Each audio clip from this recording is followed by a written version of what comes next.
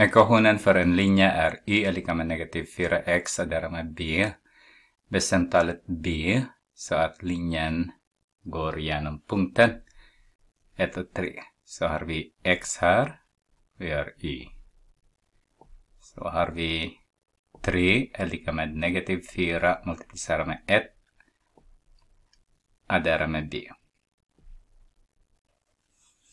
Så att vi har 3 är lika med negativ 4. Skulle sätta in den i parentes också. Addera med b. Om vi adderar båda led med 4 så har vi b är lika med 7. Den här är 0. Så har vi x och y också. Oops, det går, i, går down där uppe. Så har vi 6 är lika med negativ 4 multiplicera med negativ 2 addera med b.